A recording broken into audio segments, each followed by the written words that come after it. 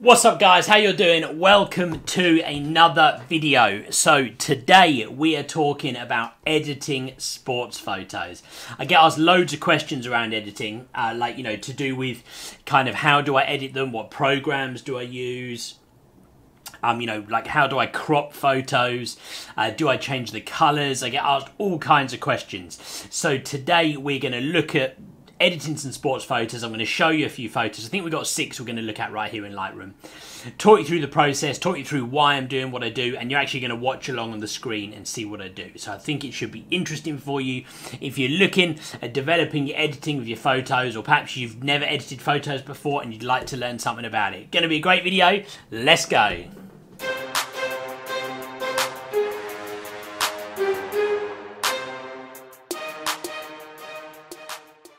Before we get into the video itself, guys, please take a second for me. Go hit that thumbs up button, like the video. As you probably already know, it helps me out loads on the channel. It helps my video and it helps my channel to be more successful. So I appreciate you taking that two seconds to go hit the like button.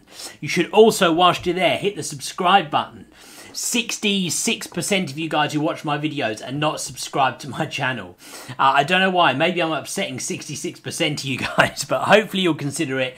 Go hit that subscribe button. Loads of other videos to come on my channel, which hopefully you will enjoy. Don't forget to go check me out on my social media channels. You can find me over on Instagram. I'm just going to put them on the screen right here. I won't talk through them. You can find me on Twitter as well. That's right here. Go check out the Patreon group as well. We're developing that right now. Um, we've got our Facebook group coming together, which is really cool. I think we've still got like another one place in the Patreon group um, for people who want to get hold of one of the free prints. If you don't know what I'm talking about, go back a couple of videos and watch the one about the new announcement on the channel and the community stuff um, and you'll see what's going on there. Right, let's get into editing some photos. So probably just should just touch on a couple of basics before we actually do it. My, my very simple process, um, mainly because I'm trying to work fairly quick when I'm editing sports photos, especially if I'm doing them live. Now, some of what I do in here I wouldn't necessarily do. Like we've got a kind of portrait one, which I'm probably going to turn black and white. I wouldn't necessarily do that if I was sat live pitch side. But the basic edits are still the same. My process is going to be getting my crop right to make sure I'm happy with my composition, making sure my horizon is level and straightening the image if it needs it. Then we focus on colors, stuff like that. Then we look at sharpening, any other specific bits we need to do, like any kind of filter or something like that. Um, and, and, then we're pretty much done. So that's going to be the process that we go through. Right, let's get into Lightroom uh, so you guys can see specifically what I'm talking about. Okay, and here we are in Lightroom, Adobe Lightroom. So I've picked uh, six different photos down here that we're going to work through. I've picked some kind of general sports photos like this, and I've picked a couple. Um, so this one here, for example, which is an absolute nightmare to photograph. And I thought I'd kind of do a bit of an example of, of how do you edit something that goes totally wrong. So let's start off with a few of the more general sports things. Now, the first thing I always do is crop and straighten my images. I do that first because I want to get kind of the framing right on the image before I start to worry about the colors or anything else. So going to bring this one in uh, a fair bit closer than I actually shot it. Uh, that probably feels about right. It looks like it's pretty much straight already. Um, so yeah, that's good. And now I'm happy. So I'm happy with the crop and the straighten. First thing and the typical thing I always do when it comes to the actual colours is I tend to um, tweak uh, the contrast. So just going to up the contrast to, oh sorry I keep changing image accidentally. Just going to up the contrast to probably like 20 maybe that looks about right. Now what it has got on this image is an ever such slight yellow tinge. So I'm just going to call the image down literally like one, you can, I don't know if you guys can see that, literally just one little notch and it changes it. The other way is a bit too warm, that's how it was, and that's about right. That's one um, little click cooler. To slightly, slightly tweak the clarity, like hardly much at all. Uh, my shadows and highlights and everything I'm pretty happy with here. Maybe I'm just to bring the shadows up a couple of little clicks just to make sure I've got detail in this guy's face. And the only other thing I'm going to do is right the way down here is sharpen. And for me, um, just to give you guys an idea, if you bring this up to right up the top to 150, you kind of see it's almost way too sharp and everything looks too um, it kind of almost looks slightly unrealistic like it's not real. So for me probably let's stick this around like maybe around sort of about 75 let's go with somewhere around there. And for me that image is pretty much done. I'm happy enough with that. So Let's come over to the next image and we'll apply the same thing. Now, this is an interesting one in terms of the crop because for me, everything is too far over to the right. Now, I'd be happy with it if they were moving from right to left, but actually the movement in this photo is almost coming towards us uh, with Wan-Bissaka in here coming into tackle uh, against Azpilicueta. So this is Manchester United Chelsea or, or Chelsea Man United. This was at Stamford Bridge. So actually what I'm going to do is I'm going to make this a little bit more of not not quite a square but a slightly tighter rectangle like that Probably about there. Yeah, that feels about right. Now, what you can do in this situation is you could actually copy across your settings from your first image to your second image. The way you do that is you press Control, you click the other image so they're both selected, and if I press Sync down here on the right, it will ask me which settings do I want to sync. I don't want to sync anything to do with white balance, but all the color, saturation, everything like that I'm cool with. So we press OK, and now it will have synced everything across. So that's how it looks uh, initially. Probably, in fact, yeah, I'm pretty happy with that one. I think that's pretty much good. You see, there's minimal happens with sports photos, right? Not a huge amount that you do.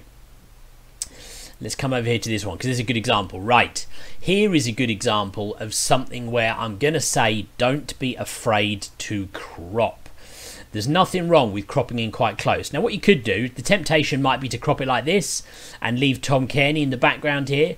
But for me, this image is about Joe Bryan and I'm not sure who this is. So I'm actually going to crop in even closer than that and I'm going to bring it in like uh, here. And it just needs straightening slightly to about there there you go, that's the image for me. So look, I've really cropped that right. People are thinking, whoa, like you shouldn't really have to crop photos that much. Like, why not? There's no harm, right? Everything's still sharp in there, so I'm happy enough with that. Now, a few bits we're going to do here. I'm not going to copy the settings from the other one because this one requires a little bit of different work. I'm going to increase the exposure on this first up because it's just slightly too dark. Uh, and then I'm just going to bring up the shadows slightly because I don't want the highlights any brighter than they are. In fact, I'm going to turn down the highlights probably one notch about there is good.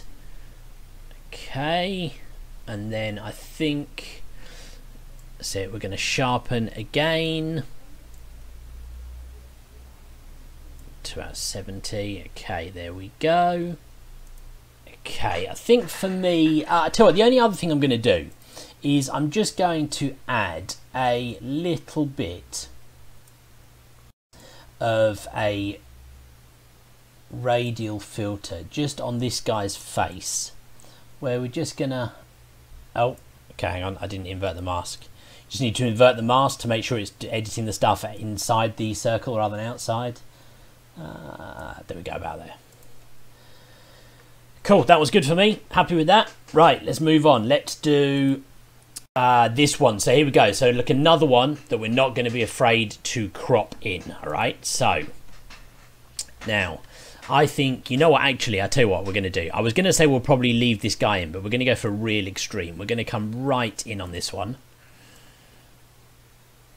Into here.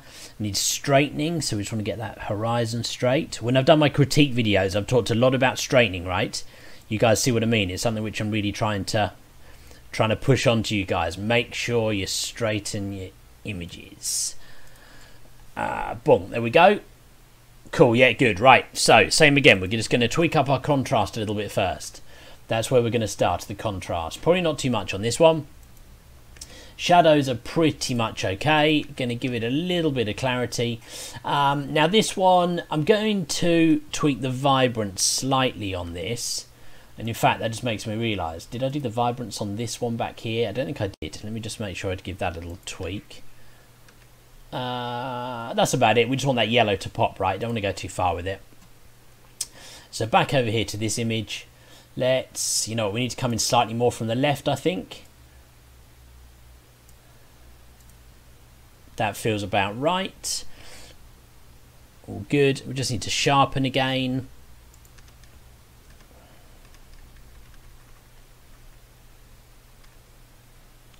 Not too much on this one. There we go. Perfect. Okay, cool. Right, we're getting there. So, let's look at this one. The reason I picked this one out is because it's a fairly straightforward image. Now, when I'm sending out during games, I don't tend to do anything too, uh, I guess what we would call artistic. I tend to stick like pretty much straight to, um, you know, color images, trying to tell the story. But every now and again, you can do something a little bit different. And this image here, this struck me as an opportunity to almost do something a little bit portrait-like. So first thing again, as per always, we're going to crop in first.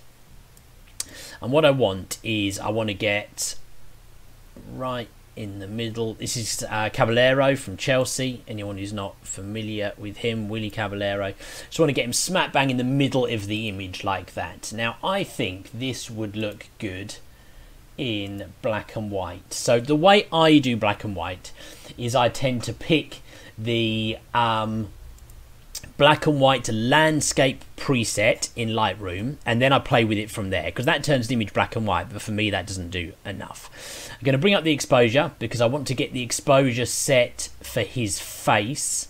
Let's not worry too much about the background because I'm going to play with that anyway. Um, let me just turn the shadows down a little bit because see what happens to the background when I'm playing with the shadows? I want to try to get those down a bit. I want a bit to see a bit of crowd, but not too much. And then the highlights again. Now you see this is going to go all the highlights up.